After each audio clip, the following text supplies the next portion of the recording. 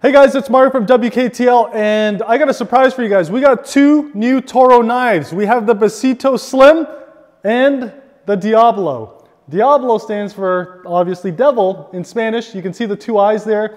You can see the cut through of the Toro logo. Both knives are absolutely phenomenal. This one cannot be used for official WKTL leagues, hence it says the Toro Knives logo on it. The ones that are allowed for leagues say WKTL certified. These do not have guards, but they also do not go through the cages. They, they're very similar in weight to the Blackhawks. So I'm gonna take a slight step back from the 10 foot mark because it does have a bit more weight to it. I under rotated it and that's what I mean. It's a bit heavier, so I probably have to take an extra step. The Diablos are actually much longer. Um, so they have a greater length, especially to the blade.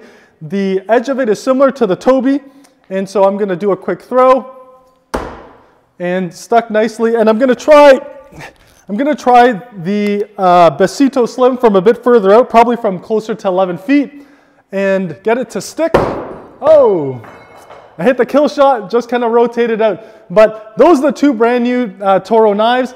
Again, there are the Diablo and the Besito Slims. Those ones are gonna be exclusive for two weeks to local affiliates. So any WKT affiliates, you're gonna have first dibs on those, and then we're gonna make them available to the public. Hope you guys enjoy. The knives are really fun to throw.